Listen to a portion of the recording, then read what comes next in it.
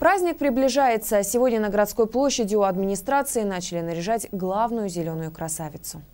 Традиционно на верхушке новогодней елки красуется звезда. Работники управления благоустройства развешивают гирлянды.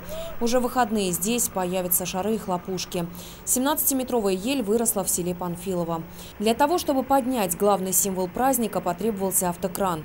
С 22 по 30 декабря два раза в день здесь будут проходить развлекательные программы для детей и взрослых. Новогодние представления будут радовать жителей и все зимние каникулы. Праздничная афиша размещена на сайте главы округа Муром Евгений Рычков.рф.